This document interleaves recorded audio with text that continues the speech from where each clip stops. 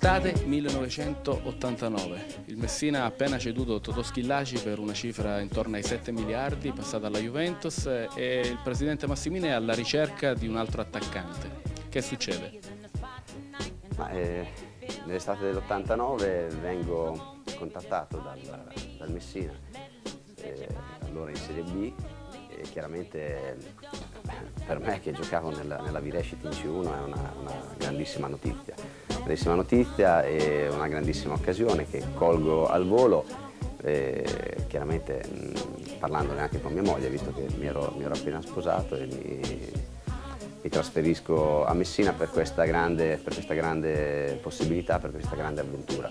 E Messina ha ceduto Schillaci, e al suo posto ha comprato Onorato, perché Onorato era colui che avrebbe dovuto eh, sostituire, sostituire, Totò e io ero un, un giovane ragazzo con, con, tante belle e buone speranze, però eh, forse niente di più. Però tutto comincia molto, molto bene.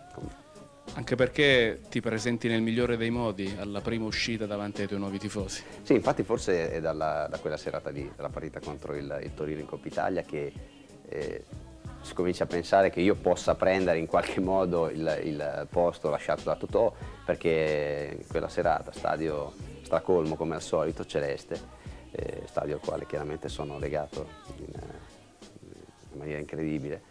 E segno due gol, vinciamo, vinciamo 2-1 e da lì per fortuna entro nelle simpatie di, di questa città, di questa tifoseria che chiaramente era in un momento di preoccupazione perché sicuramente la cessione di, di Schillaci non era stata una cessione indolore. Non è stato un campionato facile perché il tuo primo anno a Messina è coinciso con un, subito un, un, cambio sulla panchina. Eh, quello di scorsa, la gestione scorsa si dimostrò un fuoco di paglia alle prime battute, poi arrivò Adriano Buffoni. Sì, eh, dopo pochissime partite scorsa lascia il, il posto a, a Buffoni avevamo fatto un ottimo precampionato con una Coppa Italia che faceva sperare in, una, in un campionato eh, importante, esaltante, purtroppo così eh, non fu, malgrado la, la, prima giornata di campionato andammo a vincere fuori casa Catanzaro per, per 1-0 e però poi non seguirono risultati altrettanto positivi. Ci fu il 2-2 di Reggio Emilia con uno dei gol più belli forse che tu hai realizzato con la maglia del Messina. Sì, il primo gol in campionato, quindi il mio primo gol in Serie B in assoluto a Reggio Emilia, un 2-2 eh, sofferto, ottenuto all'ultimo minuto una, con una punizione di, di Onorato e tra l'altro quella domenica grande gioia, quella del primo gol in Serie B con, con la maglia giallorossa e grande tristezza perché pochi metri alla fine eh, venni, venni, espulso, quindi eh, una domenica con eh, doppio, doppio stato d'animo.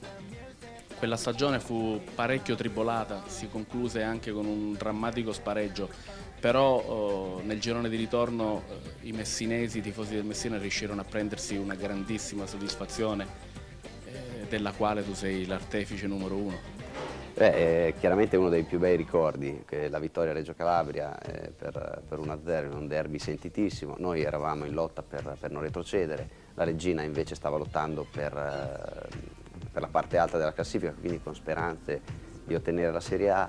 E quella vittoria eh, lanciò noi verso eh, poi comunque la possibilità di giocare eh, lo spareggio salvezza e tarpò le, le ali alla Regina per eh, per i sogni di, di promozione. Quindi uno, sicuramente la vittoria di Reggio Calabria è uno dei, dei ricordi più belli. Te la ricordi l'azione del gol? Sì, mi ricordo un, un lancio lungo, eh, io che sono spalle girate alla porta con Beatrice dietro di me che cerca di, di saltare, eh, non, non, arriva sul, sul, pallone, io mi giro, porto avanti la palla con, con la coscia a destra e poi davanti a, eh, Rosin se non sbaglio, e con di esterno destro calciato a rasoterra sul, sul palo lungo, sul palo lontano. E poi quella corsa... E la corsa sotto, sotto. il settore dei nostri tifosi. Erano eh, distanti? Erano molto distanti, ma è una corsa che non mi ha fatto nessun, nessuna fatica, perché quando si fa un gol così importante veramente eh, la fatica non, eh, non la si sente, anzi. Hai rivisto poi a distanza di anni quanto i messinesi siano stati felici quando dopo tanto tempo il Messina è riuscito a battere la Regina in trasferta con le grandi accoglienze, per cui hai potuto immaginare quanto, eh, quanto sia successo di bello visto che a te era capitata la stessa cosa. Uh, sì, assolutamente. Eh, credo sia stato qualcosa di simile a quello che abbiamo vissuto noi. Eh, noi tornammo con la Caronte appena sceso il, il ponte c'era una marea di gente che ci aspettava, sembrava di aver vinto non una partita ma, ma un campionato. Quindi, È vero, siete tornati dentro, il, il, dentro i cellulari, della, cellulari della, polizia, della, polizia, perché a Reggio Calabria fuori dallo stadio c'era un pochettino di, di confusione e quindi hanno preferito farci uscire sotto scorta e quando siamo arrivati a Messina siamo rimasti sotto scorta perché c'era talmente tanto entusiasmo che questo entusiasmo rischiava di, di schiacciarci, quindi siamo rimasti dentro i cellulari dallo stadio di Reggio Calabria fino dentro lo stadio di Messina. Un tuo gol contro il Cagliari già promosso in Serie A eh, consentì al Messina di andare allo spareggio, era una partita drammatica dove facevate sì. fatica ad andare in gol sì, eh, segnai questo gol contro il Cagliari all'ultima di campionato che ci permise di, di giocare mh, tre giorni dopo lo, lo spareggio a, a Pescara eh, contro il Monza, eh, anche perché era l'anno dei, dei, mondiali, quindi bisognava finire i campionati molto in fretta, quindi non avevamo tempo comunque neanche di, eh, di prepararci bene per una partita così importante. Però praticamente a Pescara giocammo in casa perché chiaramente c'erano solo i nostri, i nostri, tifosi o quasi, e segnò Doni un gol, un gol di testa. Fu una partita difficile perché comunque sia, al di là dei valori in campo che secondo me erano superiori ai nostri, in quelle partite lì la tensione gioca un, un brutto scherzo. Sicuramente non fu una bella partita in campo, ma fu una gran bella partita appena l'arbitro fischiò, fischiò la fine perché ci permise di ottenere una salvezza molto, molto sofferta. Passata la paura Igor, Massimino disse adesso non voglio più soffrire, voglio un grande Messina. Arriva Beppe Materazzi e viene costruita una squadra con gente esperta dove tu sei diciamo non più il giocatore che deve far dimenticare Schillaci ma sei la punta di diamante. Ricordi quella formazione con... Sì, è una formazione che tra l'altro per un intero girone non deluse le aspettative né di Massimino né dei tifosi né le nostre che speravamo in un campionato e addirittura se, se non eh, ricordo male alla fine del girone d'andata eravamo secondi. E poi ci fu invece un, un crollo abbastanza mm, netto, oserei dire per certi versi inspiegabile, che ci allontanò dalla, dalla zona promozione per farci arrivare poi alla fine a una salvezza ottenuta alla penultima giornata di campionato. Ecco, ma a distanza di 15 anni tu non riesci a darti una spiegazione di questo crollo dalla quarta di ritorno in poi, no. dalla gara persa a Reggio Calabria e poi quella in casa con, con il Foggio, con quel gol incredibilmente annullato dal signor Longhi? Sì, eh, non lo so, sinceramente mm, sono, sono, situazioni che non hanno una, una logica vera. Probabilmente è un, un fatto mentale, psicologico, perché non, non credo che una squadra possa eh, dimostrare di essere una grande squadra per un girone intero per poi invece arrivare ad avere tutte le difficoltà che abbiamo avute noi. Eh, le qualità tecniche nel calcio sono importanti, ma credo siano molto importanti le qualità mentali forse a quella squadra mancava questa, questa forza di, di, reazione alle prime difficoltà che sono arrivate all'inizio del girone. Per Batoste di Reggio Emilia, di Ascoli, si disse anche che qualcuno remava contro Beppe Materazzi, ricordi quella notte dopo, dopo la sconfitta di Ascoli, insomma ci furono dei summit tra voi calciatori per decidere anche con la società il futuro del tecnico. Ma noi subimmo delle sconfitte pesantissime squadra che subiva gol con una facilità eh, spaventosa.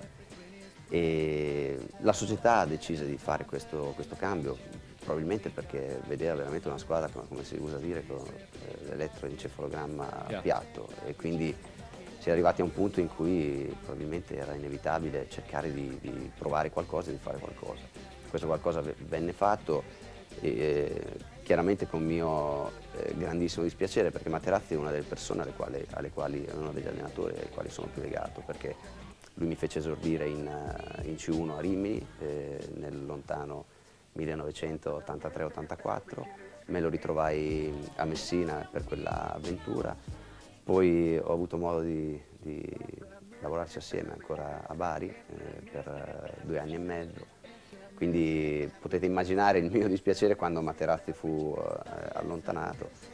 Eh, noi comunque alla fine, malgrado tutte queste vicissitudini, riuscimmo ad ottenere, come dicevo prima, la salvezza alla penultima giornata se non sbaglio.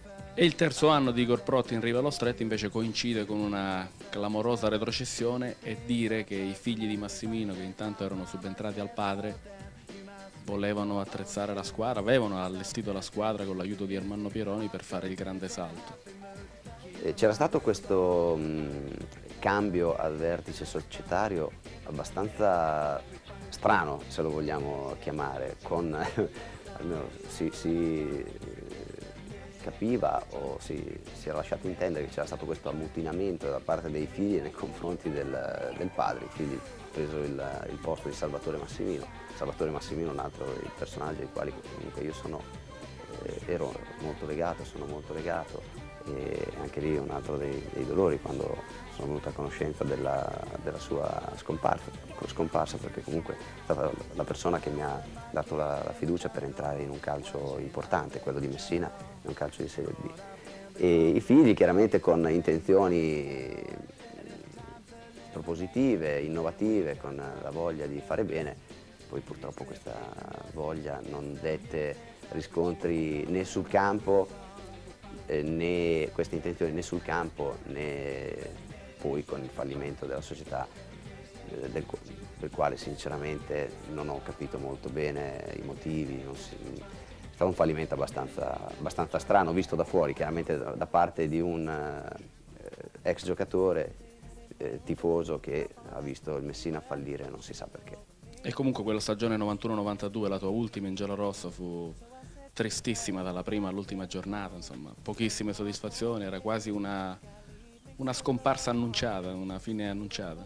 Un campionato iniziato male e finito, finito, peggio, con, eh, con, la retrocessione, tra l'altro con, eh, con, la mia cessione eh, verso la fine del campionato al Bari e lì eh, cominciai a capire delle difficoltà economiche della, della società perché mi venne proprio ehm, detto in, a chiare lettere che se io non avessi accettato la, la cessione a, a, Bari il Messina sarebbe fallito subito quell'anno. Quell Perché tu non volevi andare via, loro invece ti cedettero al Bari per io, una questione di sopravvivenza. Io avevo, avevo una, una, quasi un patto morale nei confronti anche della città, ho sempre detto che per lasciare Messina eh, sarei voluto andare comunque in una squadra di Serie A e non in un'altra squadra, squadra, di B.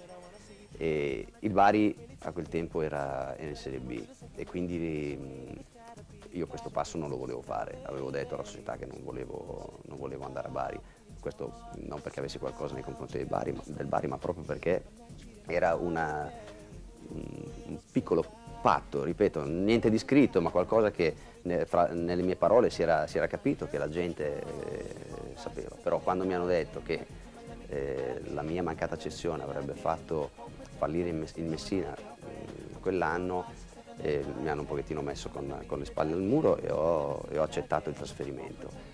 E credo che poi soldi, quei soldi siano serviti al Messina per fare quantomeno il campionato, il campionato successivo e, e poi però come dicevo prima non so cosa sia successo. At home, it's so hard for me, but you gotta leave me alone. She said she didn't wanna listen to me, knew exactly what she wanted to be. My baby, I must admit that she was getting to me, waiting for me, wanted me to hold her oh so tight. Together, forever, wherever, whatever. Just said she couldn't find nobody better, who wasn't gonna give up on me, never. She said, Ooh, you're looking so fly, every time you pass me by. I like the way move your body. Girl, I must admit, you're looking real fit. Let's chill for a little bit. I don't wanna get me, girl, you know I'm not afraid. Four, five, six, seven, eight, nine, ten. Come and let me hit it sing it again. Won't pretend, can be messing around with my girlfriend. One, two, three, four, five, six, seven, eight, nine, ten. Come and let me hit it again. Come and let me sing it again. Won't pretend, can be messing around with my girlfriend. It seems like every day girl, you wanna be calling me. And when I step outside, you always follow me. You said that you were really feeling this song about the thong, the thong, thong, thong that I wanna Messina, Bari, Lazio, Livorno, insomma, chiederti una graduatoria dove inseriresti Messina insomma, è forse crudele adesso. No, no, lo faccio con grande serenità e con la consapevolezza di quello che dico. E, la mia avventura eh, calcistica da professionista è iniziata a Livorno, Livorno è stato il mio, il mio primo amore, a Livorno ho giocato per, per nove anni, quindi mh, quasi la metà della, della mia carriera, a Livorno ho vicino, comunque vivo. E quindi devo dire che in, in una scaletta quel, dei miei sentimenti Livorno è, è un gradino sopra altre due città che sono Messina e Bari. Messina e Bari sono state le altre mie due grandi esperienze, i miei due grandi legami affettivi nei confronti di, di gente, di amici. Bari, tre, a Bari 4 anni, a Messina 3, ho, ho mantenuto rapporti a Messina con, con, tante persone, con tanti amici, quindi eh, ripeto, solamente Livorno ha un qualcosa in più per i motivi di cui parlavo prima.